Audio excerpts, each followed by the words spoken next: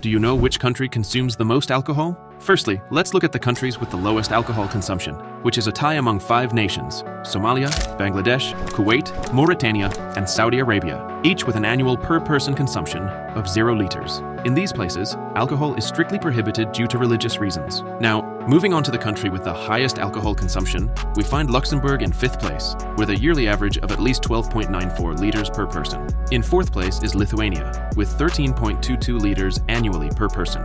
The Czech Republic takes the third spot, with a consumption of 14.4 liters per person each year. In second place, we have Uganda, boasting alcohol consumption with an average of 15.09 liters per person annually. Finally, surpassing all others with a staggering 20.50 liters per person, the smallest country in Africa, Seychelles takes the top spot. This is largely attributed to the wide availability and cultural significance of alcohol in Seychelles. Alcohol is deeply ingrained in their culture, and its affordability makes it easily accessible